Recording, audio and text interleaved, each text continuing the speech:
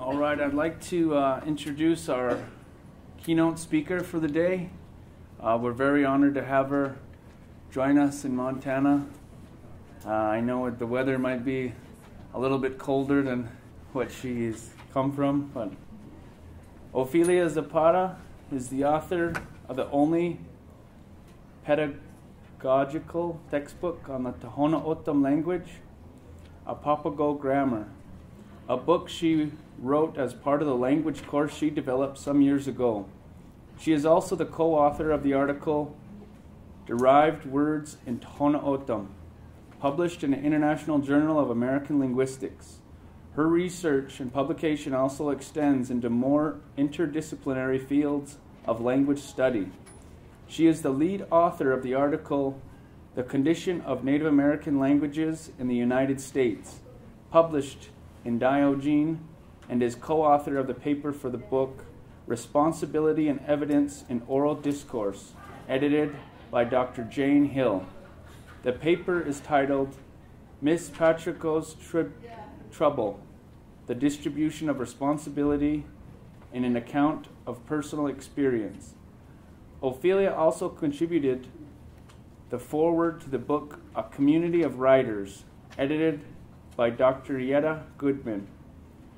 She has also guest co edited the journals the Bilingual Research Journal and the International Journal of Sociology of Language. Ofelia's teachings include regular course on a Tohono O'odham language, as well as grammar, as well as general undergraduate and graduate courses on the survey of American Indian languages and the structure of the O'odham language. Her teaching, like her research and publications, is also interdisciplinary. She has taught courses for the American Indian Studies program, the English department, and the Division of Language, Reading and Culture in the College of Education.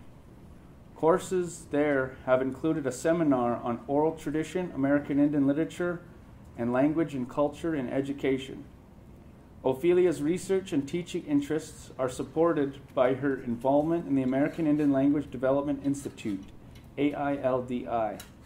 She is a co founder of the AILDI and is currently a co coordinator and facility member in the Institute. AILDI is a summer institute offering courses to educators and potential educators working with American Indian communities, as well as educators working with multi- multicultural publications across the United States.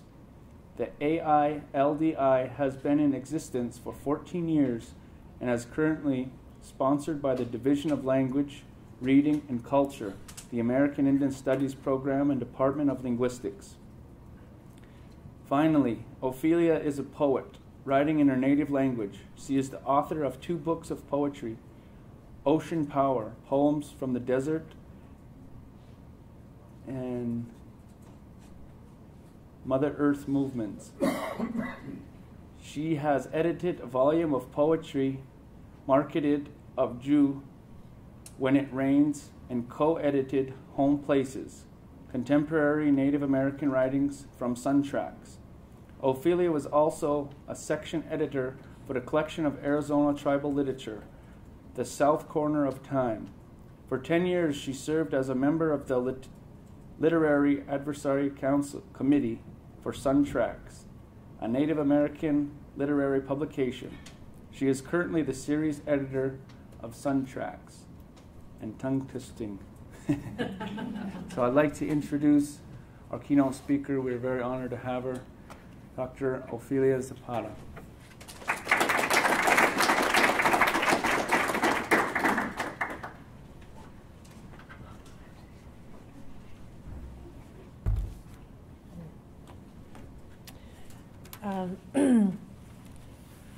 Pagki um ehm, safat waju mat eh, inuai hak eh, eh, Jesse min kia jiwa ya pom chen ni ge min homu ya ai jiwa wana ko mo mo ko shai su pi um ehm, bên nhà nhớ đi thì mình ehm, gom chít him ton o tama chơi tất cả am chít cả hồ ở đầm ba cả chúc son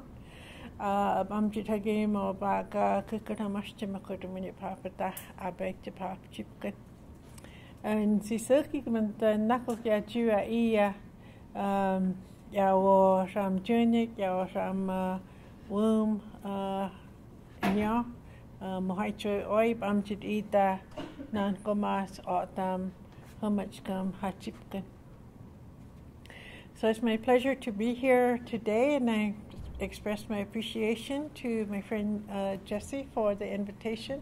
Uh, I was here earlier this year um, when it wasn't cold.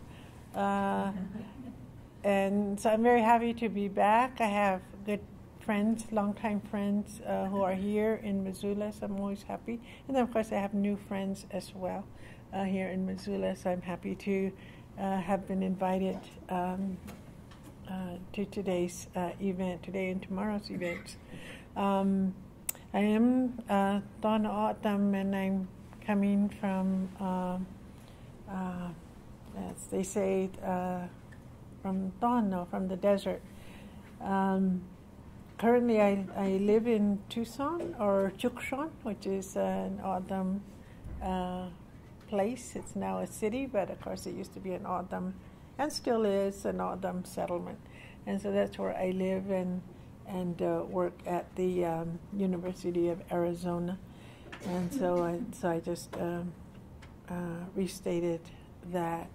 Um, so I appreciated the in, uh, uh the words uh, that Jesse uh, provided you on much of my background and my work has primarily been uh, through the University of Arizona, um, and so many of the things that he mentioned is is just because of my position there uh, at that campus. I have been there at that campus for many, many, many years. I uh, went there as uh, to go to school. I I transferred from a junior college uh, near our home, and uh, so that was my first university experience. And I did my undergraduate degree there, and my master's degree, and my doctorate, and then I got a job there, a temporary job, initially for a, a few years, and then I was hired in our linguistics department, and um, have been there ever since. And you know, you never know what you know other faculty are saying when they're thinking about hiring somebody. So I think I was just in a unique position with somebody who had a linguistics degree and who was from that area, basically where our language is from, uh, our traditional land, and so forth. And so, of course, it made sense to keep, um, you know, the work of the language there at that particular campus. And so uh, I'm sure that that had a lot to do with my, my, my getting that position there. And um, uh, I've been very fortunate to be able to do many of the things that I've been able to do with language um, from, you know, that, that um, uh, position at the university. And the nice thing about the university is that it is very close to our, um, our, our community, the O'odham community, which has uh, several reservations. The closest one to Tucson is only about 15 miles down the road, which is the San Xavier uh, community or village. And then the main reservation is about 60 miles uh, west of Tucson. So it's, you know, it's commutable um, place. So often people shift back and forth from reservation to the city and for different reasons, go to school and jobs and so forth. So um, so it's a it's a good place to be with, with regard to you know especially language work and so forth. Um, what I thought I would do um, today, because the the conference is a student run uh, by Sacred Roots, uh, uh, the organization. Um, and I anticipated, you know, uh, students being here. So of course we have uh, students and then community members and so and so forth. Um, what I thought I would do was because I have been involved in language work for the whole time that I've been a student, actually, when I was a, an undergraduate student, is when I started working on language, basically my own language. And that's when people were still speakers of the language. That is, you had children going, you know, coming into school that were uh, speaking uh, the language. And this was common in Arizona, certainly was common in Montana. I know all the languages uh, here in Montana. Many, um, many of them uh, shared that kind of, of history where the language was very much intact in, you know, the 1960s uh, and 70s and so forth.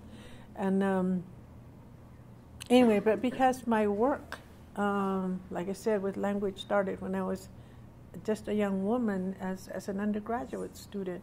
Uh, and like I said, it was just online. And because of where I sit, that is, to me, and sometimes I feel like I'm sitting on the top of this pole and I see things happening. And, and then other times I'm in that whole arena, the things that I can see sitting up there.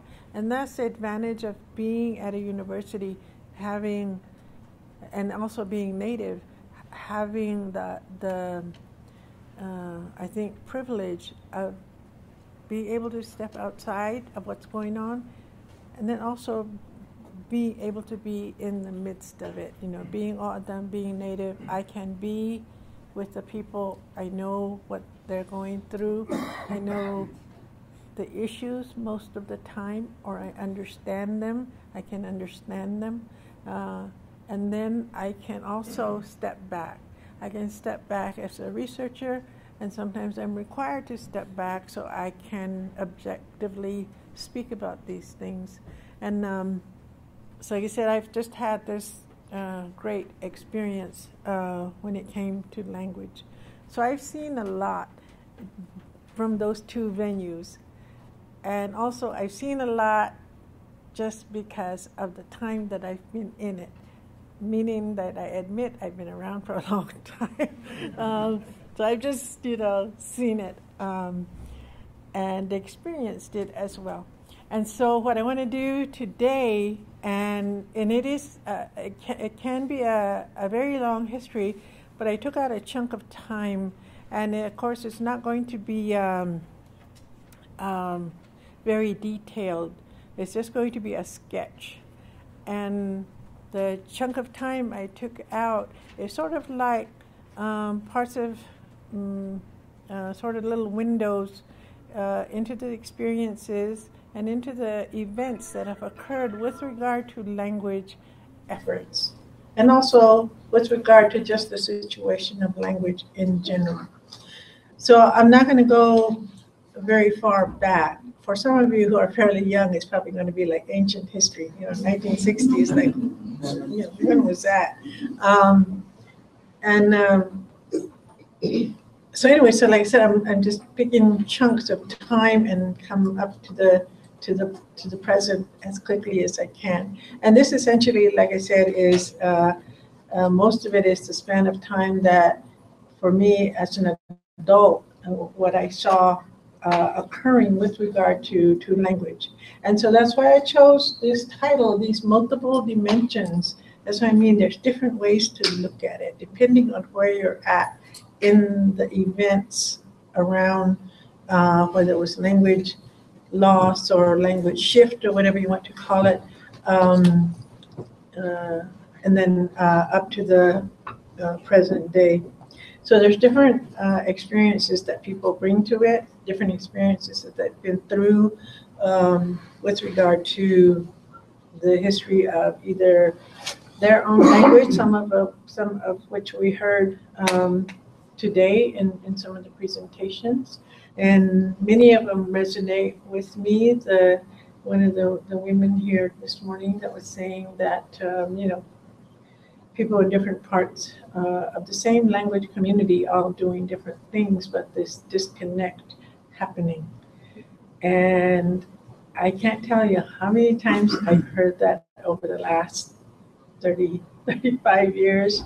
It's something that's very difficult to, to uh, uh, address uh, or even to to try and fix. And it is very challenging. Um, so anyway, as a way of beginning um, this kind of journey, and I like too that that some of the speakers spoke about journey, you know, which I think for in the community that's uh, sort of critical, you know, because your life is, is essentially that, and that there's different things that are significant um, in in in these journeys, and. Uh, anyway, so so that's one way that I'm looking at this. You know, taking these chunks of of uh, points in time and covering some of the things that have occurred with regard to language. And so with that, what I'm going to do is start with the beginning of mine, sort of my some of my early memories of language. And um, for those of you that are, are, don't know, and again, we were talking this earlier about history and what we know and what we don't know, and what sometimes we present out there, and it's inaccurate. Um, and so we have to be careful and and um, be critical of what we put out there because uh, uh, we want it to be as uh, accurate as possible. Anyway, so I want to start with with my uh, one of my my early memories, and the way that I like to do this is I like to read you a part of an essay that I did a few years ago um, about part of my my life and what I was going to say is, if you're those of you that are not aware of our tribe, Tohono our land, uh, traditional homeland uh, is much of southern Arizona and also extend extends into southern, northern Sonora, Mexico. And the U.S. Mexico border it cuts through our reservation, like, and so the tribe is split like uh, you know some of the tribes up here with uh, um, Canada. Um, anyway, so some of the of them that came into Arizona uh, for mostly for economic reasons in the 1930s and 40s settled off reservation. You know, and the reason you settle off reservation is because the reservation, the way it's set up, is basically traditional lands and villages for certain groups of O'odham. And if you're not from that particular village, you can't just walk in and, you know, settle. Just because that's not your home. You're O'odham, but it's not your home. And so many of the O'odham that came in from Sonora settled uh, in the border towns around um, the reservation. And our family was one such family. Our traditional home is in Sonora, Mexico. And um, so our parents settled off reservation. They're only about mm, two miles uh, from the northern part of the, the reservation. And even though we were off reservation, it was like a little neighborhood. And every the row of houses that we were in, we were all related. You know, my aunt and uncle lived on this side, and my other aunt and uncle. And so we were all, we were like a little village. And um, we're off reservation. If you're familiar with Southern Arizona, it's high agricultural um, economy.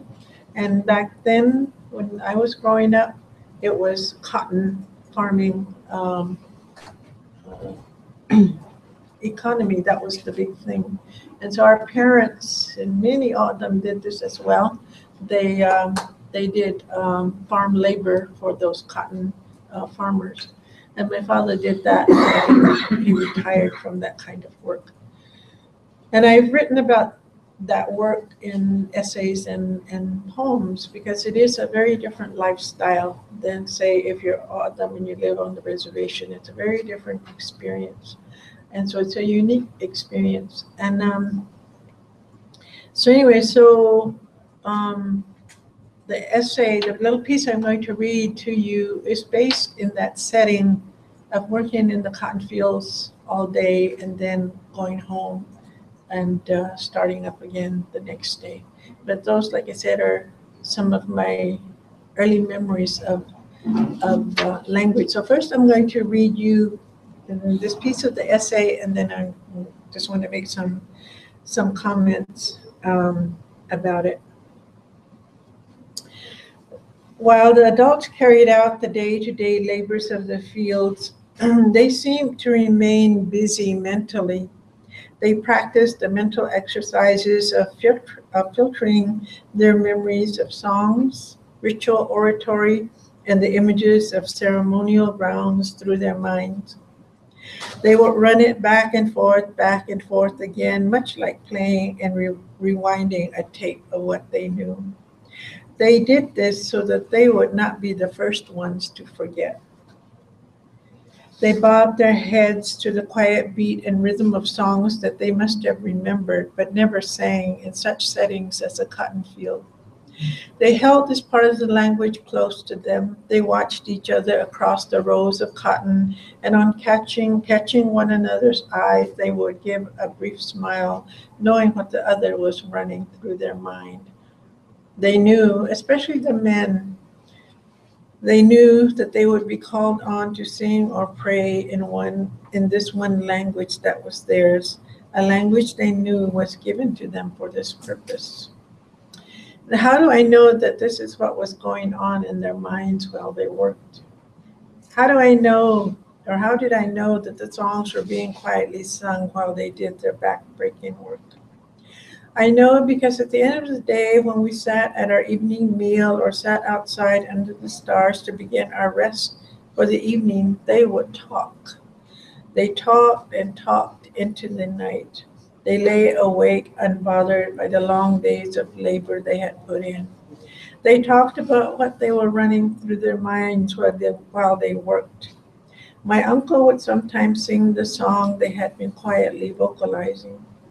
He sang it for all of us in our family circle under the stars. In their talk, they explained things to one another, clarifying for each other, supporting each other's remembrances of certain practices and the rituals. This was their talk that would take them far into the night and then finally to sleep. This is what I listened to in the darkness. As a listener, I was only a distant participant. I heard everything, but didn't understand everything. I lacked their experience, their knowledge of this ritual life that they had been living since adult, young adulthood. My time would come. I listened and fell asleep to the rhythm of their comforting voices, their quiet, familiar laughter. With the morning star in the horizon, the sun not yet even a dim light, I would be urged to wake in the still darkened morning, as I prepared to wake, I would hear them talking, talking in the echo of the last of the darkness. Their voices only slightly hoarse from sleep, but simultaneously clear. Perhaps it only seemed that way in the intense quiet of dawn. They would be they would be still on this they would still be on the same subject that I fell asleep listening to. They were still repeating things over and over.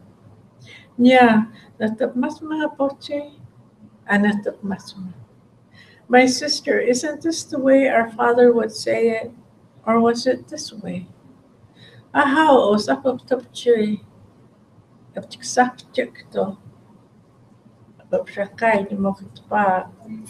Yes, yes, you had it right the first time. You have a good memory. You sound just like him. This talk in the language that happened all around me as a child, as a young person, it stayed with me. It stayed with me even after I learned the English language, which happened when I was around eight years old. I learned English only after I was put in school, and in that era, English was the, was only for school since no one else at home had any use for it. I left this language on the school bus when it dropped me off by the road, and I walked home with brothers, sisters, and cousins, all of us shifting comfortably back into O'odham. Walking just a few yards to the house, we transformed by the time we reached the front door. This ability to transform enabled me to remain a participant of all the things my language had to offer me while growing up. And the reason I wanted to share that memory is because um, when many people spoke the language, you know, not just O'odham, but, you know, say the languages up here as well. When people spoke the language, you know, they spoke it, you know, for general communication and so forth. But when you think about it, you know that they were also, in their own way, doing a lot of language maintenance. They were doing a lot of language documentation. It was all oral at the time. And we know this, or you know this, because singers have to practice what they're going to sing. They may not sing it out loud every time, they might be singing it in their head.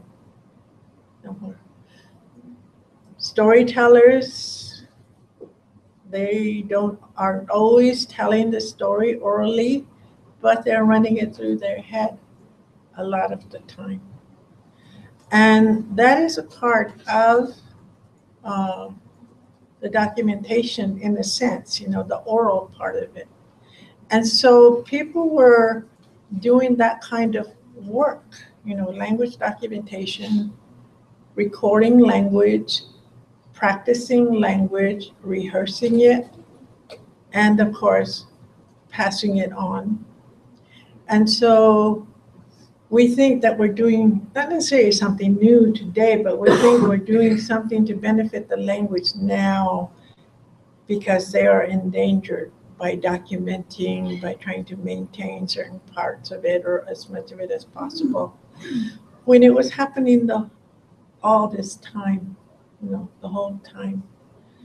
And um, so my own little memory that I shared here with you about my uncles and my my mother and my aunts who worked the cotton fields that they were practicing their songs and we have what's called oratory they're formal speeches that are part of uh, summer uh, ritual for us they have to memorize these things they have to know them and so you know they're practicing them all the time you don't, like I said, you don't see them. You don't, you know, they don't make a big deal of it, but they're doing it all the time. And only, you know, every now and then, like I said, in the evening, sometimes, you know, our uncle would sing something for them. And they helped each other. They supported each other's memories. And you you know that people do this all the time. You do it in English, and so you can do it in any of the languages, supporting each other's um, memories and forms uh, of language. So the early uh, uh, activity for me as I look back with regard to maintaining the language, documenting the language, it was happening with the people who only spoke that language. And in an environment where everybody spoke that language. You know, so so it was going on even before the languages became endangered, and it was probably probably something that was going on, you know, way before then uh, as well. So, so we're doing, you know, some of this activity now, you know, trying to maintain the language, trying to document it, trying to revitalize or recover it, you know, whatever term you want to use. Um, and but we're we're doing it now for for a different reason. But like you said, people have been doing it for quite um, some time, and so I think about it. Think about you know this activity sort of occurring in um, um, in sort of uh, a different uh, situation in a different time. So anyway, like I said, it was part of a, an essay and uh, based on my my own um, experience. So, so I'm going to share with you, like I said, some of the different um, places of uh, language and language work. And I call it unexpected. I call it, un, you know, uh, uh, sort of multi uh, uh, and I think it has to be that way. It can't just be one way. Um, and so my, my essay piece that I read to you was, you know, my home uh, experience. Um, and the one of the speakers this afternoon that was saying, you know, that his uh, your grandma, you didn't know your grandma spoke until she left, you know, her home. Um, and so, you know, so people have different memories and different experiences of, of, of uh, language and home. And, um, and I guess it's, it's good to know and, and to accept it. And part of it is like whenever other speakers spoke about the, the trauma uh, and the shame of language. So once you know the, you know, the language situation regard, regarding your home, if you know it and accept it, not necessarily make excuses for it, accept it, and then move forward. And so it's, you know, I think it's it's important to acknowledge it, you know, no matter what it is. And couple of, you know, people were sharing some of their experiences um, with language with me during during the break. Um, also, early schooling again, as I told you, where where I grew up, off reservation, and then my parents being from originally from the Mexican side of um, the country, at least, um, we had no one in our family ever went to school. No one had the boarding school experience at all. Um, and so my brothers and sisters were the first generation to, to start going to school. And um, all of us started school only speaking O'odham. And we went to a little public school down the road from our, our home. And um, uh, I never thought about it at all, you know, what my experience was going to school in language until I went to the university and I was an undergraduate student. And there was this researcher there. When she found out I was bilingual in O'odham and English, and then being at a university as a student, she uh, asked me to be part of a little study she was doing about bilingual uh, students. And one of the questions that stuck with me, I don't remember any of the other questions she asked me from her survey, but the only one I remember was, um, what uh, how I felt um, about not knowing English when I was in an all English speaking classroom. And I had to admit, I had very little memory of that, of not knowing English at all. Not that it was a supportive environment or anything like that. Uh, what I remember was those of us that didn't speak English we just all sat together, sort of in the back, and almost did nothing all day long because we didn't know what we were supposed to be doing. And, and I'm sure that didn't last very long. It just seemed like all year long we just sat in the back. We went every day and just sat in the back, and didn't know what was going on. But eventually, and this is where that, you know, what we now call, you know, immersion that's what was going on. We were sitting back there, and everything around you was in was in English, and eventually it's it started to make sense. And so all of us, my brothers and sisters and I, the only English language experience and people we spoke to in English once we learned it was in school. So our first English models and our first English teachers were uh, from the school because no one at home used English at all. And so we were not influenced by other people trying to speak English, you know, because there's something that happens to your English when you learn from somebody who doesn't speak English very well. And it's very difficult to uh, correct.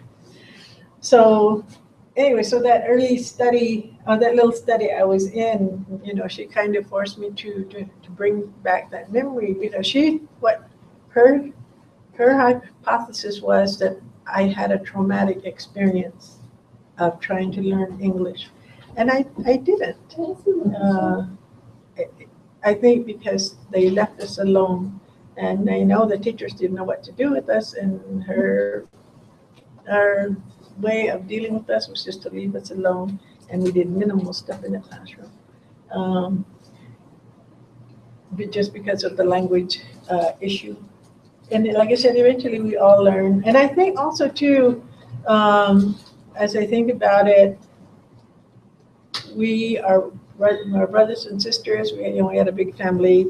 Our cousins, we were all kind of in the same grade or real close to each other. We just clumped together, and we were our own support system, and we, you know, helped each other eventually figure out um, English.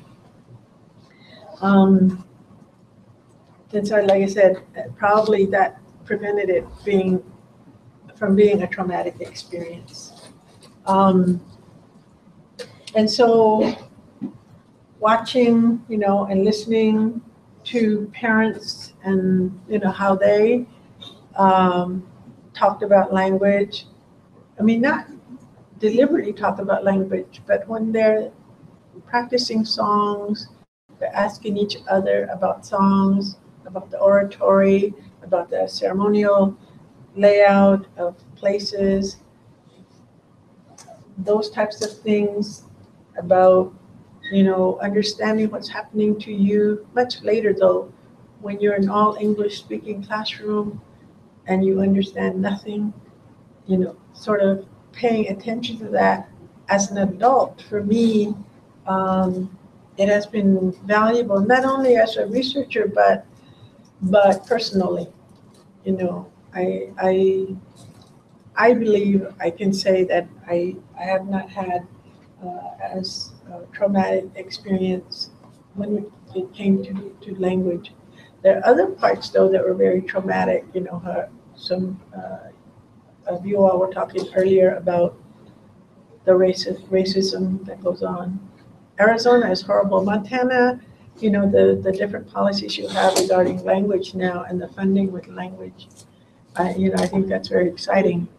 Arizona is is horrible. It's, you know, I, I don't know what's going to happen there um, with regard to language uh, and the tribes, but it's not a very supportive setting uh, at all. Um, so there's other parts of it that is definitely traumatic, but from my memory, I think language was not as much so. And I'm, I'm aware only as an outsider of uh, the history of, of the traumatic experience from uh, boarding, the boarding school experience. okay, so the chunks of time that I'm talking about, the 1960s, 70s, and 80s, 1960s, you know, elementary school year, 70s, high school, and 80s going into uh, college, at least for me. Um, and one thing that I, I look back on, and even though, like, you know, we were just all the families stuck out in the desert, things like the civil rights movement and American Indian movement uh, kind of knocked on our door unexpectedly. Um, and I think because we were off reservation, we were very poor, we were very rural, uh, people wanted to help you. And, uh, you know, if those of you recall, there was this whole thing about um, dealing with poverty in America. We were the poverty in America. And so white people and other uh, um, uh ethnic uh, groups came knocking at our door wanting to help us. Uh, one of the, the unkindest thing they did though one time was a group came and looked at how unhealthy our our living environment was. You know, we, we had an outhouse because we had no plumbing, so we had to have an outhouse. They came and uh, quarantined the outhouse because they said it was unhealthy. And so we're like, well, where did we go? they put this big tape on it and stuff, said it was quarantine, it was, we were not supposed to use it. After they left, we took the tape off and kept using it.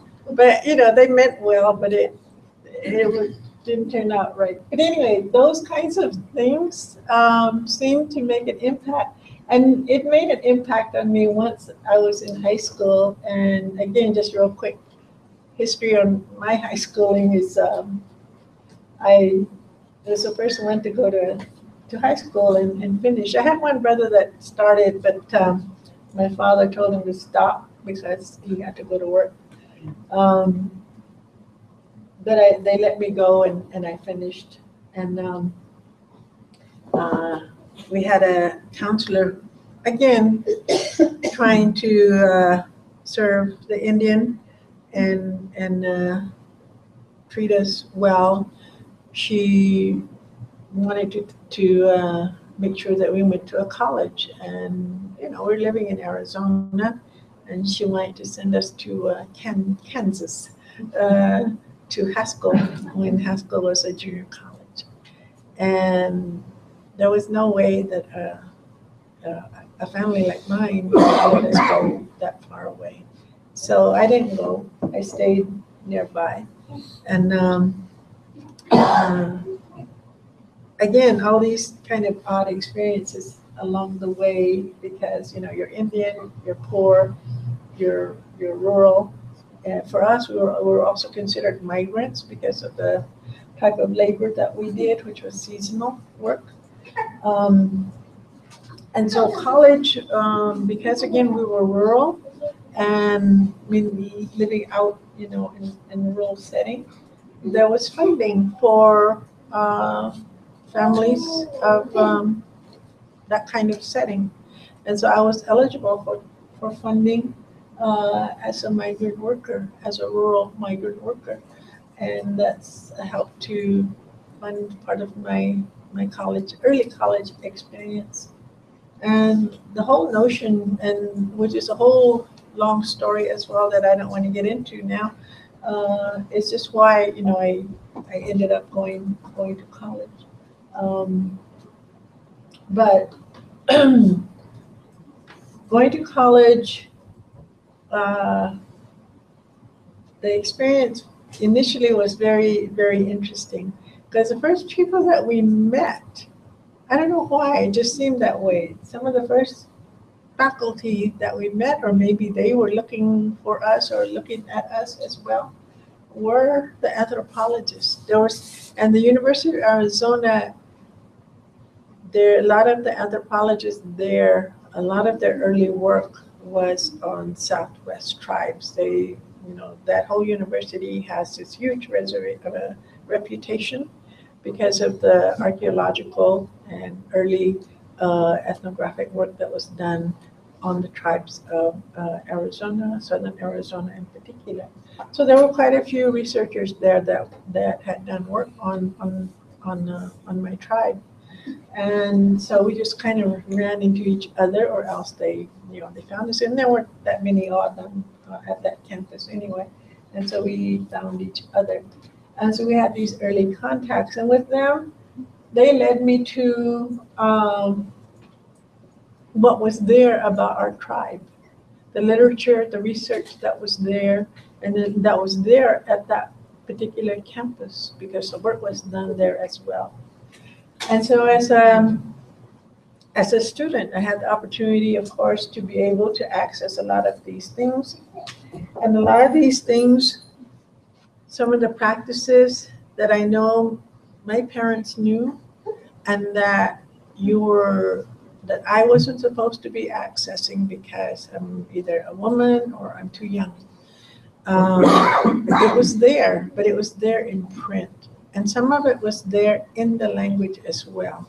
There were some linguists or anthropologists actually that had worked on the language very early on and they collected a lot of things in the language. And those things that were collected in the language were very good. They were quite accurate. And I would check out those documents and I took them home to my parents. And I was I was hesitant to show it to them um, because I wasn't sure what they would say. And so I finally showed it to them. And this was one one particular book that was on a ritual that's from both my parents' home village. That's a very, very uh, important ritual. And this little book described the whole ritual and even had photographs in it. And the book was published like in the 1930s. And I took it home, and my mother and my father and a couple of my uncles were happened to be there, and I showed it to them. At first, they got very upset because it just bothered them that, that it was in a book. And then they started looking at the pictures. And even though the all the ritual dancers, they had these masks on, these ritual masks on. After a while, my mother and my uncles started looking at those pictures, and the dancers were all men, and they got very in, involved in in uh, in looking at the book, and they started naming all the people in in the photographs. Even though the people had masks on, the way they knew who the people were was the position they had in the line dance, which is something that anthropologists did not know. So, like, ooh. so, so I learned something by taking something home in that way and accessing it. And a lot of O'odham language was in that text as well because, you know, some of the ritual phrases and words and things like that were, you know, written out. And um, I couldn't read them at the time. Um, but later I figured it out and I'd ask my father and he'd kind of explain it to me. So my early exposure to the documentation that people had uh, produced on them, I accessed when I was like 19 and 20 years old. And again, it's just an unexpected um, event in having a part or participating in language work by others. And we can be critical, but then there's sometimes there's some good things there. And I found it, like I said, in linguistic documents, ethnographic work, also in literature and poetry. And and you have to look everywhere. You can't, you know, just be looking in uh, linguistic textbooks. This, this part was a, a very significant um, part of many of, uh, especially educators, language educators' work. Montana, the Crow people had Crow friends back then. It had some, um, uh, yeah, what the other tribes um, that were very, very active in schools. Same thing in the, the Southwest and all across the United States, very active in schools where they were using schools to promote, to reinforce language and culture.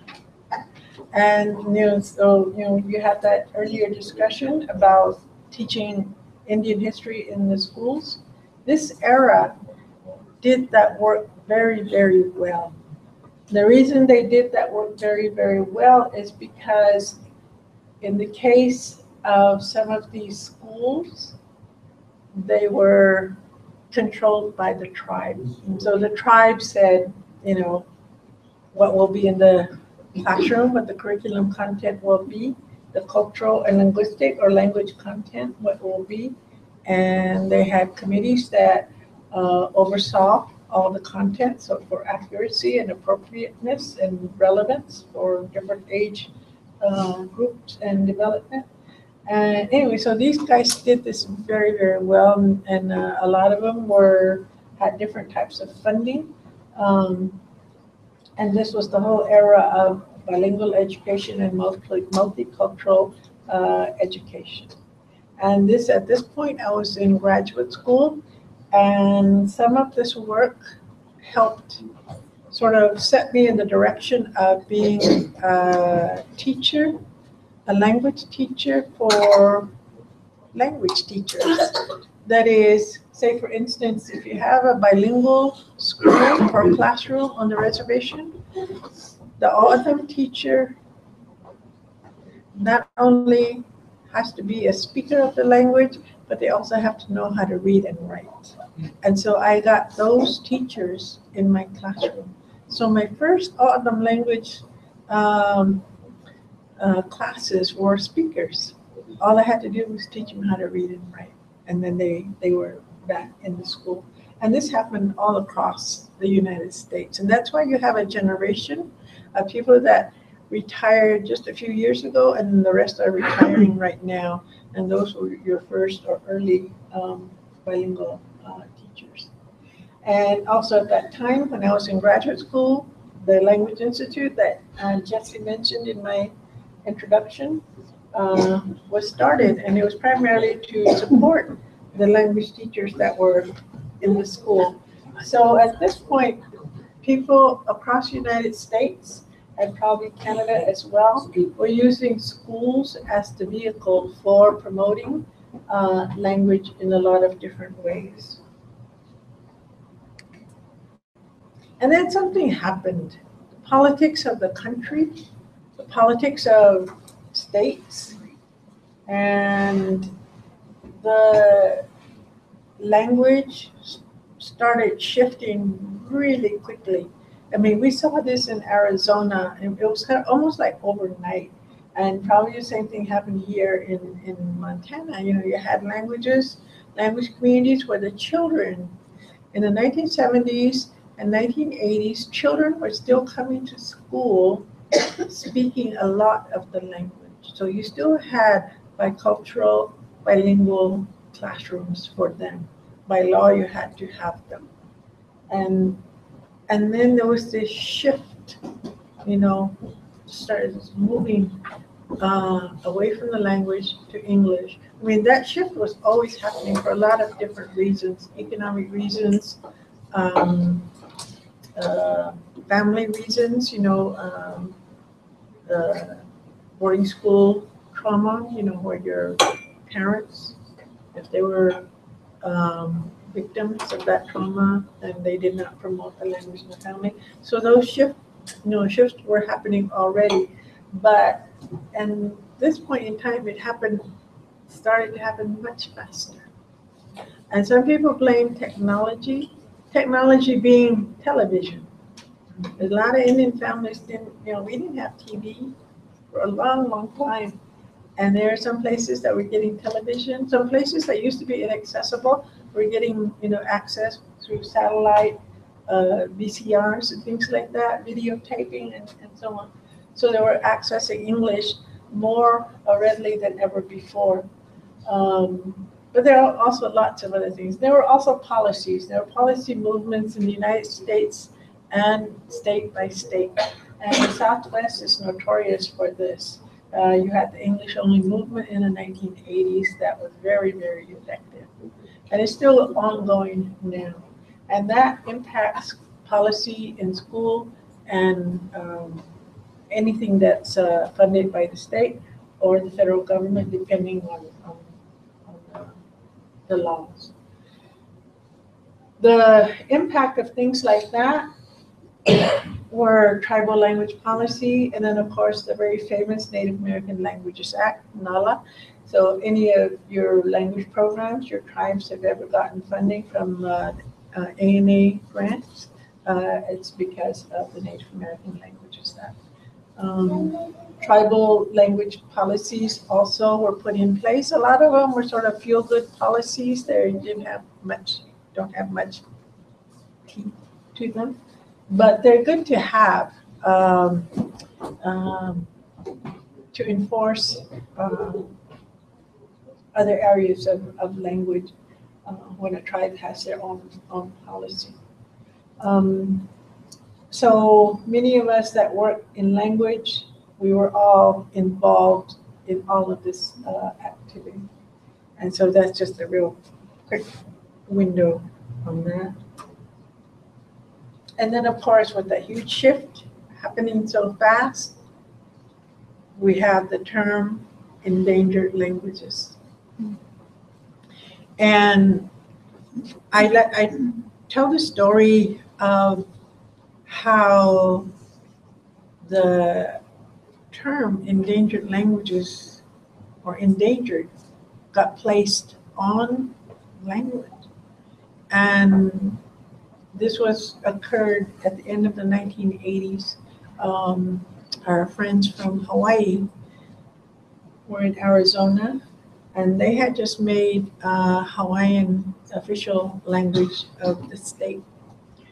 And in our discussions about the Native American, what would become the Native American Languages Act, we were trying to figure out terminology that would be catchy, you know, that would bring attention to Native American languages at that time. And so we looked at the, the, the uh, documents that are out there, have been there for quite some, some time on endangered species, Endangered Species Act. And that's for animals and, you know, plant life and so forth. And how valuable people see animals, plant life, and how you move to try and, and save those things or create new settings for them so that so that they thrive and support them.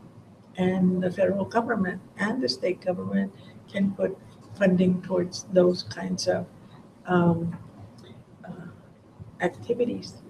And so we thought of, of language in that context, you know, that it can become an endangered item thing because you you can't go anywhere else in the world to find, you know, the O'odham language.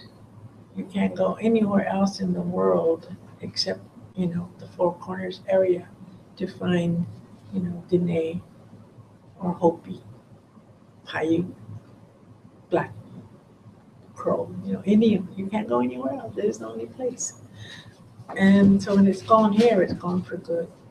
And the same thing, that's how they think about uh, plants and animals. Um, and so you want to protect them.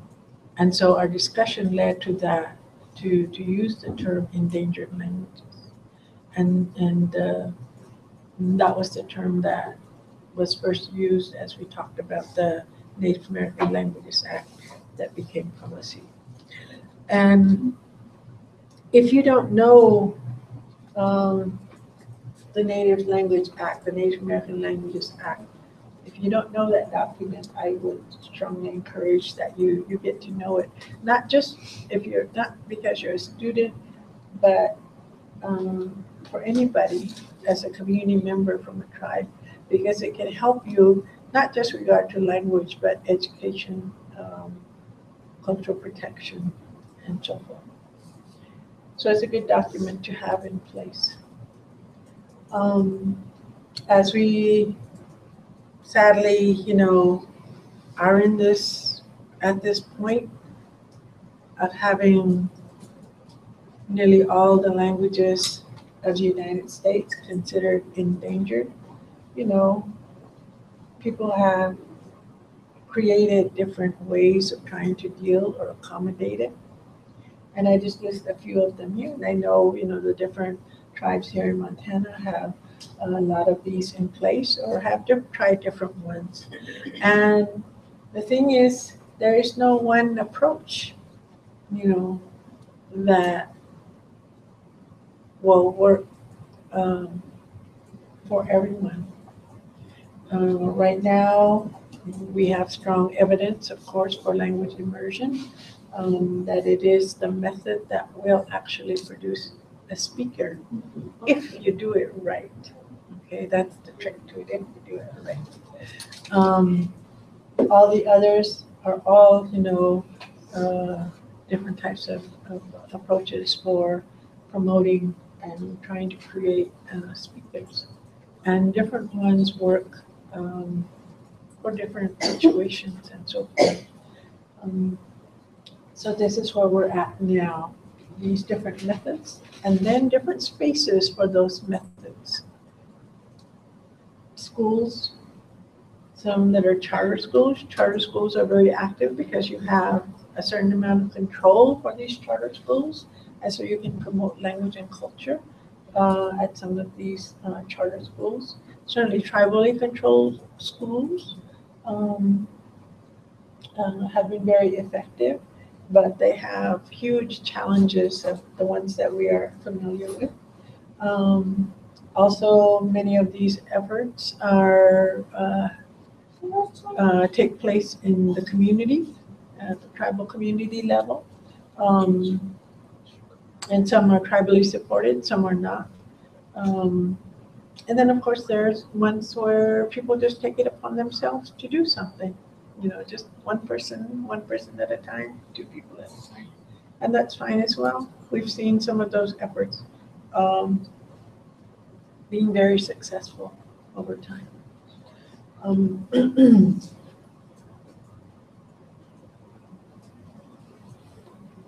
so when I just want to end with um, the understanding that everyone has something to contribute to whatever the effort might be with regard to, to language and whatever the goal might be for language. And of course, you know, your primary players are going to be the speakers. And then people will always question, or else people who don't speak the language will doubt as to how helpful they can be in language recovery, language maintenance effort. And I think that they can be very um, helpful uh, in those uh, settings as well. So you should never turn away, you know, those people who are um, not speakers of the language. Then there are those uh, in some of the literature that call it remembers. And there are the people who know a lot. They remember a lot, but they can only tell you about it in English. And even though they tell you about it in English, if you put a person like that who only talks about it in English in a group of speakers, the speakers sometimes don't remember everything, you know. Yeah, everybody can't know and remember everything, and that's why it takes you know different people to to uh, um, sort of help bring things together. So when rememberers sit around and bring up things, and even though they're talking about it in English, the speakers, it'll trigger something, you know, in the language, and it'll help, you know, bring that back. And so, um, speaking about things in English and helping it revive, you know, kind of pull it out of somebody who is a speaker is um, very, very effective. And it makes it a safe place for everybody to participate, you know, for non-speakers to participate and be part of that kind of, of dialogue. Uh, some same thing with young people. Young people uh, who may or may not be speakers, they ask questions, you know, so they ask questions that adults and especially speakers of the language might not think as an important question or relevant question. So when they ask questions, it again supports the overall uh, effort. And of course, um, you know, you have any number of researchers out there in a number of fields. So, you know, we heard a range uh, earlier today, the different backgrounds that people are, are coming from. Um, I think if they're the right kind of researcher, you know, people who want to share it and people who are interested in doing quality uh, work and willing to work with, with um, community people and so forth. Because not all researchers want to do that. That's not what they do, and you shouldn't uh, expect them to. Sometimes you can re-educate them, and and uh, they'll be you know more beneficial. But anyway, so you have to be, you know, careful and, and selective about, you know, the different types of researchers that you want to, um, you know, where you want to take advantage of the type of work that they do. And I've known some, you know, excellent partnerships and collaborative work by uh, non-native researchers and tribal language efforts or community language efforts. So anyway, so it's, you know, it's just list them. And there are many others as well. I, just only listed a few uh, examples here. And, um, and then I just close again, going back to my, my own family um, and just sort of relate it back to the the journey that I've had and the journeys that our family has had with regard to you know, the literal journey, you know, moving from one place to another to live.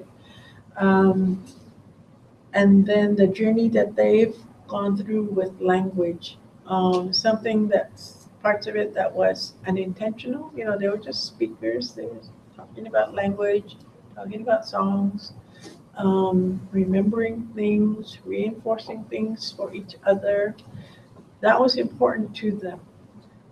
And they, of course, were unaware that because it was not their intention, I don't think, um, that their children, you know, myself and my brothers and sisters, that even though we were just sort of hanging out on the edges, playing probably, we absorbed a lot of what they had to say to each other. And a lot of it, you know, certainly shaped the way that we grew up and the way that we, we think about ourselves and the way that we know uh, who we are. And, and then, of course, uh, it helped to uh, instill, you know, that language and, and some of that knowledge within us as we grew up. And so uh, it's not easy. It wasn't easy for our parents to force themselves to remember, especially when they had to work so hard physically just to to make ends meet, you know, every day.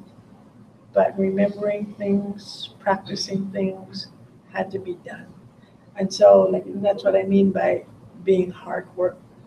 And and you know they were good at it they were good at it for you know their whole lives because it was important and in the end the way they did things the way they practiced the language the way that they talked about the language helped each other uh, taught each other things to me they were good guides for us. They were good models for us. And you know and that's something that that families can do. And like I said, that's certainly what they, they did for me and my uh, brothers and sisters. And you can still, you know, this can still happen even though the language might be limited in the family, but to um, to use what you know, you know, and um, sort of continuing uh, to build on it.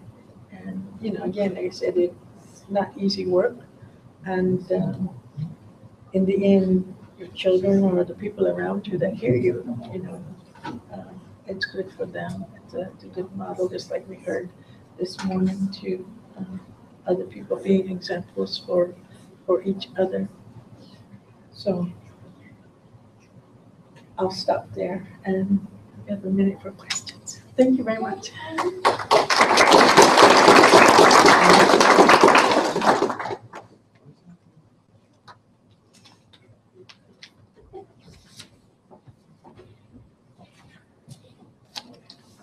Thank you for that, and especially um, the rememberers. Um, so often in our communities, our older ones don't want to share their stories because they feel they have nothing to contribute. But there's an incredible richness in them telling their story because then it brings up, like you said, all the hard work that they had to do just to get where they are. So I think that's really important. And then the other comment I want to make is, in Montana, we don't have charter schools. There's been a big political debate, probably best to comment on that. But um, that's one of the things we don't have here, is the charter school. Arizona runs rampant with charter schools. Too many of them, and some of them are not very good. It's big Double-edged sword. funding. Um, so like I had mentioned earlier, you know, I'm kind of new to the whole implementation of overseeing this conversion school and um, I'm actually an educator and um, know, I've taught for the Brown School for ten years, so I do have an educational background. Um, I am currently an administrator now, so I'm, you know, pretty embedded in, in terms of education and um, looking at things from that perspective. And so kind of coming here, um, you know, I wanted to take from this as I was kind of reading through some of the things that were presented.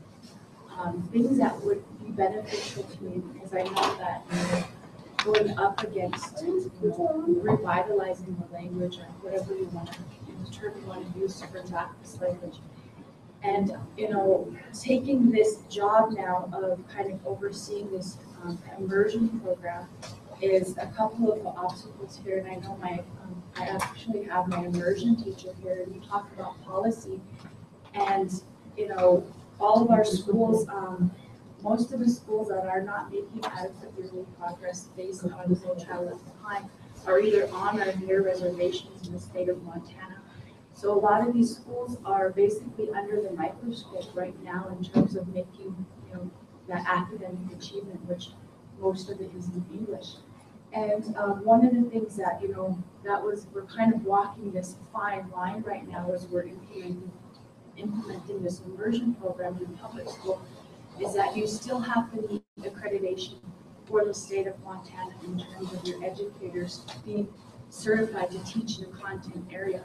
And then most of our speakers not having that um, degree to be teaching content areas outside of the language.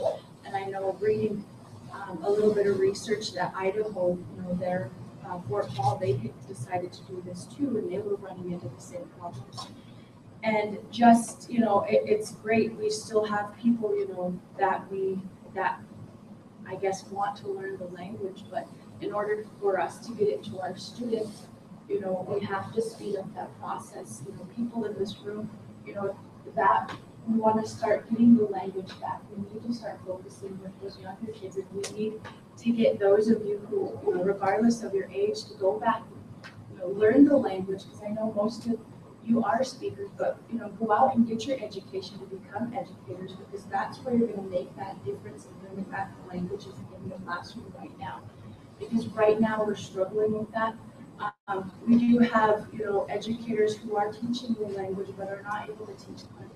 And then on the flip side of that, because we are a public school and we do have these certain policies that we do have to abide by, um, we don't have the resources available in Blackfeet. And we still have to teach this curriculum and meet these different standards, but we don't have the resources available.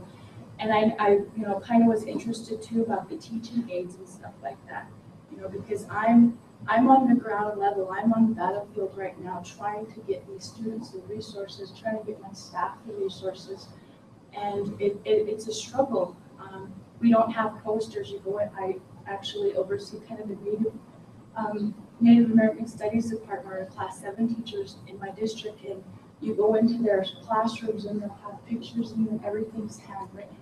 You know, we don't have the nice resources or the I was able to visit Paxton's dual elementary, um, dual language school, and they have posters and everything in Spanish. They have books, and we don't have that. And you know, and there's no market for it because you know, textbook companies or other companies aren't going to want to just make a few hundred copies. You know, they want the hundreds of thousands, and so those are some you know barriers that we're working through and um, trying to you know connect with different people in our community to get all these resources. So you know, those are the two biggest um, barriers that I'm, you know, dealing with right now and trying to get this going in our school district right now. And um, just we're talking and you know with the community college and they're trying to offer some kind of language classes so we can speed up people to get class sevens.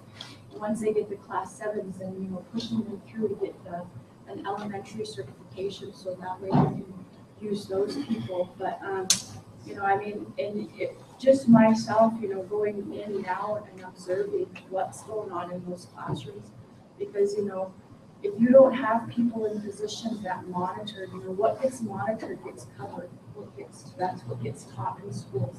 And so if you have don't have those people who, you know, the workers you talked about are those people that want to put that hard work in that go in and are, you know, seeing what's going on in that classroom, you know, it's just I feel like on the reservations right now, because of No Child Left Behind and making AYP, you know, those things important because there's money tied to that. there's people that come in and observe your classroom. Um, some reservations, they take over. You know, the state comes in and takes over. So, you know, those things are kind of getting pushed to the side in terms of language and whatnot, but, um, you know, so I've been able to go in and observe and, you know, they're actually doing really great things there and, um, I have, you know, my own kids that are in our district and, uh, not really paying so much attention to that, but having my son come home and tell me, you know, what this word means, you know, what that word means, and being able to say it because he's actually taking Miss, or he took Miss White Nine's class and he picked up a lot in that class. And, um, you know, making that, you know, a priority and, you know, most of you probably have kids or grandkids and different things in education, so, you know, it, it's important for you guys to be, you know, go out there and voice that to the people that are making those decisions, your superintendents, your building principals. And not only that, but just, you know, if you have that strong desire for our language to continue on, then, you know, we have to start educating our youth. And if that means you have to go back and get a teaching degree or work on a teaching degree, degree or work on, you know, learning the language, then, you know, I encourage all of you just to pick up that cross because that's what needs to happen if this is going to come back. And, you know, it's, it's nice to, you know, say this is dying, but, you know, I, I'm at that point where I'm trying to act, you know, I'm trying to, I guess, problem solve and come up with solutions. And So that's kind of just me on my little soapbox, but I mean, just everything that you're talking about you know, from the policy level and things that, you know, you guys have had to go through and, um, but, you know, really it comes down to, you know, getting your, I guess, just getting in there, putting that work in there, um, in order to bring this back, because, um, like I said, I'm new to this process, and, you know, there's just so much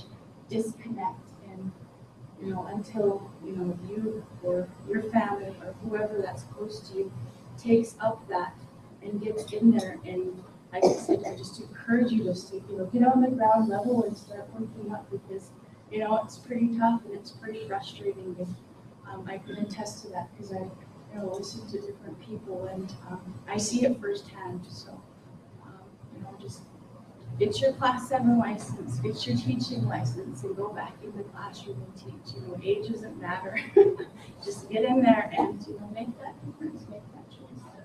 Continue this that's kind of my, my little spiel to you guys.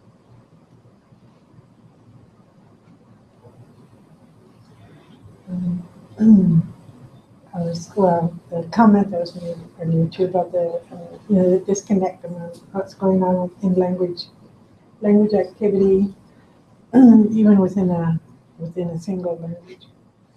The, the, the situation that you're talking about has always been there. You know, not having enough teachers, qualified teachers, certified teachers, you know, for um, to be, especially in the public school um, setting. Um, as long as I can remember, that's always been an issue. And it's sad that it's, it has not um, been fixed at all. One thing that I noticed in the Southwest, with, in particular our tribe and, and Navajo, for instance, just because they're two of the largest language groups in the state, um, they had a pretty substantial number of uh, speakers who were certified teachers and were in the school. But in the last five years, that whole group was retired. And there was nobody that came after them. And so those classes just phased, phased out because no one could fit in. Right now, I know New Mexico, I think, is the state that started it. Arizona now has it. And I know, I know other states have it as well, where the State Department of Education hands over the responsibility to the tribe to, to certify speakers to be only language teachers, not other subject areas, just language teachers. And um, New Mexico's been pretty effective about certifying for the Pueblo, you know, uh, groups and Apache, Southern Apache groups um, there, and some of the the Navajo in, in New Mexico. Uh, Arizona, uh, some of the Apache groups have, have been uh, creating their certification programs for that. We have been working on ours as well. And uh, we had some ladies who had been teaching language for like 20, 25 years. And they, you know, they were saying things, we're not going to go back to school. We can't go back to school. We're too old, you know. And so for them, they were very happy that this certification by the tribe was going to happen. But they were so close to retirement that we sort of grandfathered them in even before the, the certification exam was done or finished. So we have about half a dozen them language teachers who uh, are certified by the tribe and the state. You know, if the tribe certifies them, the state will accept their certification and they can be in um, the public school, but only for language and culture teaching. And like I say, I know a number of tribes uh, have that in place as well. But it is a slow process to get through because it is um, um, has to be set up by the tribe and be approved by council and so forth. So we've been working on ours for about two, two and a half years. So it is slow. Um, but yeah, but your, your situation there, like I said, um, the- the case has always, uh, been there, not having enough certified teachers in the classroom. And, um, it's, right now, it's, it's not clear why, I mean, even just teachers in general. Uh, I noticed that our university, that is native teachers, we have very few native teachers that are in, uh, our College of Education, that is as students to become, uh, certified teachers. It's just not a, a popular field for some reason or another. Um, and, um, and I can see where it would be even more challenging to get, you know, a mature adult into that, into a, a program to become a certified teacher. So it is very challenging. And one thing I know that our tribal college did was, um, they created a two and two program. So, and this was for teachers, to get all them, uh, teachers as certified teachers. And so they started, they did the first two years at the tribal college and then transferred to the university and they moved as a cohort. And so they had, they graduated as a cohort. But it was a, a huge grant, so they, they had, they were funded for four years. And that's about the only way you can get somebody through is with full funding. And it even included, because these, these were mature, more mature people, um, they had families, and so some had to move, you know, to the city to finish their second two years. Some commuted, and so you had to accommodate for their commute, childcare, a stipend or whatever. Um, so it's doable, but it's, it's a huge investment that somebody has to make. And uh, so we've, we've seen it, you know, try be handled in different ways just to get a, a small group of tribal members through a degree program. And tribal colleges have, have been helpful in that way. That way, those students start at home and then only in the last two years do they have to be away. But it is, it's a challenging situation. I don't know, I don't know if anybody has any other experience or recommendations to that. There are some ways that other cities are country are trying to get around the credential issues. Um, not referring to native language things, but the city of Boston, for example, um, they hire people for, um, the city hires people that are community leaders. They, they have, they a management position, they call community project coordinators would have some term. And there's, and there's a certain number of positions within the city and they're able to work in schools. I worked in a school for two years, um, as a community project coordinator and I was a teacher. I did not have a credential in Massachusetts, I have a credential in California, but it didn't matter at all. So my point is, is that, um, and as hard as it is to deal with the state bureaucracy around credentialing, um, it is probably unfortunate that, you know, a lot of older people that are qualified to teach these classes are never to be. Like, you're called to have these people come to school, it's great, and hopefully they can do that. But uh, on the other hand, you know, hopefully administrators and people at the state level maybe could also try to get around the credentialing uh, issue somehow, like the city of Boston has. You know, they, they save quite a bit of money in doing so they can pay, they pay less than a credential teacher, know, I did the same now, you know. um, And I don't know if there's any room, I don't know enough about it, but I don't know if there's any room within the BIA regulations and maybe special um, exemptions they might get. And I know that this is probably pretty, pretty tough to deal with in terms of state bureaucracy, but, you know, going, going forward, we know that, you know, that there's only so many older people that can, that can do this, and they don't need a credential, Right. obviously, you know, I'm not saying anything, but, uh, mind blowing. They don't need a credential, what they need is the state to be able to say, you go do this, and that's it, so hopefully, along with people going out and getting their credential, you know, administrators and state and maybe federally, there could be some movement in that area. Just here like a visitor. There's some movement in that direction. So Ofelia, what strikes me too is how, well, I, first of all, um, I'm actually from Arizona more than Montana, but, um, I'm really impressed with what the state of Montana has done, like you mentioned, compared to Arizona, which is really awful.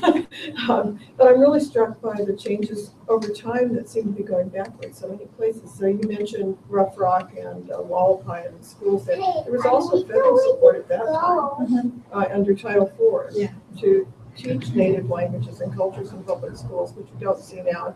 I'm sort of wondering what he was saying about advocating for more federal support along those lines, if there's any, anything going on, or is anybody trying, or? Uh, I mean, uh, building it maybe on the Native American language, or something else that would push for support of that type. Um, It won't happen in Arizona. I know. Yeah.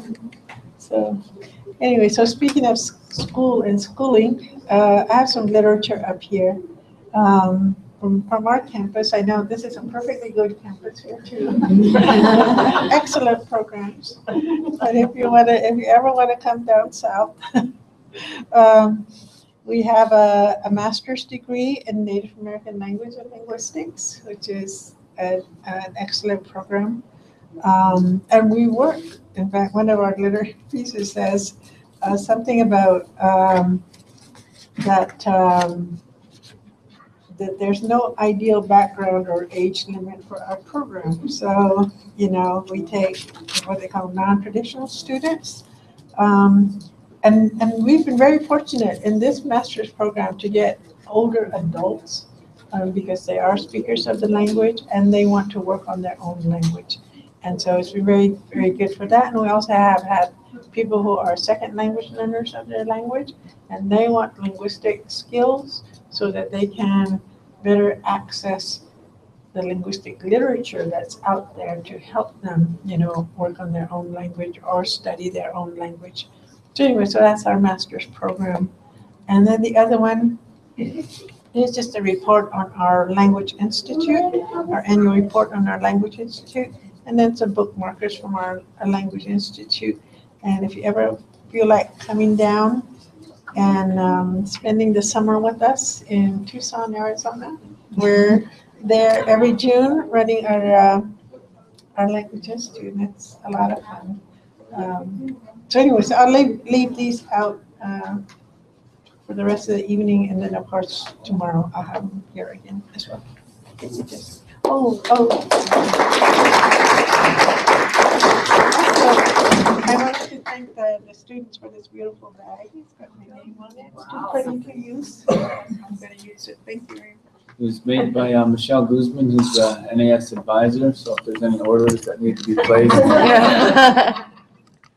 Uh, just a few closing announcements. Uh, anybody who is looking for the higher education forms, they're at the front desk. Uh, the paperwork is there to fill out. It'll be there tomorrow morning as well. Um, there might be some coffee left if you guys want to get around after this and network a little bit. The purpose of this meeting is to get people engaging with the, each other and engaging with some of the presenters. So feel free to hang around and visit for a little bit longer if you'd like. If there's coffee available. Also, the raffle tickets and shirts are still being sold in the front. I'd like to close today with a prayer from one of our speakers and presenters of tomorrow, for uh, who will be presenting tomorrow. Uh, the speaker comes from uh, the Assiniboine tribe, Ani, on the um, Fort Belknap Indian Reservation here in Montana. I'd like to introduce Kenneth Tuffy Hagelson for the closing prayer.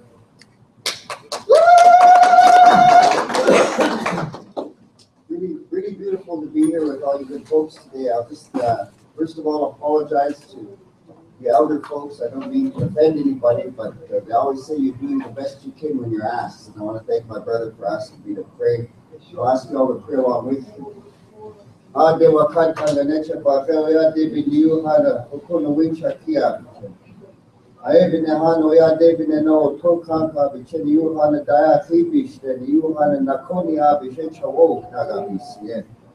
Yeo naga ha ake jishten abo washte ububi tine o ya debi doken te hano mani bisie yu hana tibi ni tawa yu daya inkuya jechi macho aki. No. Naga ne hano shini abe en wachege cham. Uh, my Father, I thank you for this beautiful day that you gathered all these beautiful people here today, and I ask that you bless us each and every one here tonight. And wherever it is we come home, we come, we come from, I ask that you bless our home fires and you keep them burning bright. When we get back there, that they're better than when we left it. Wherever we go this evening, that we have a good rest and we gather back here tomorrow and learn lots, fiction, which we get.